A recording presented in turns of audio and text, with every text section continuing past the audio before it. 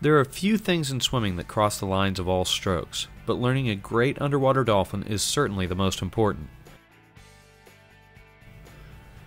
This will be the first installment of a series on learning a good underwater dolphin.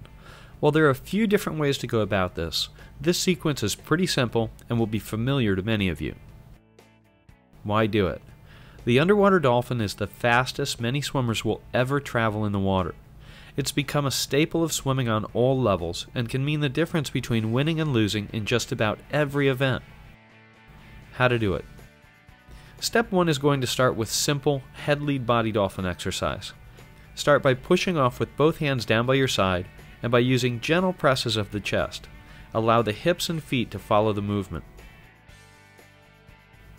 Do your best to keep the head stable and not bobbing, but sending the top of the head forward.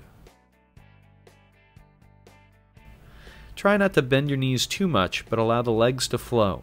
If you're going too deep or kicking too hard, increase the rate of your pulses just a bit.